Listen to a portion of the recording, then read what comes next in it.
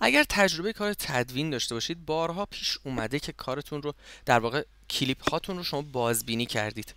به طور مثال شما اومدید اینجا و حالا می‌خواستید این کلیپ ها رو ببینید.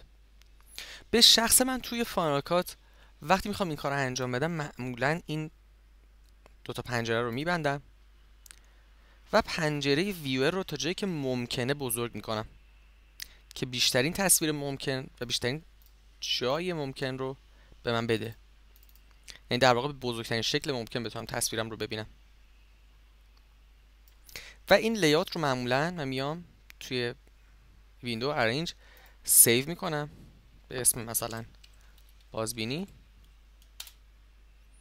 که هر وقت خواستم بتونم از اینجا همونطور که دید از save window layout بهش دسترسی داشته باشم.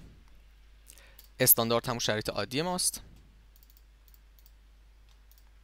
و بازبینی که ما رو به این لیات میاره. البته این نکته رو خدمتتون بگم که برای اینکه فایل هاتون رو ببینید هیچ الزامی نداره که همچین کاری انجام بدید. اما از اونجایی که تصویر بزرگتری به شما میده خب شاید گزینه بهتری باشه.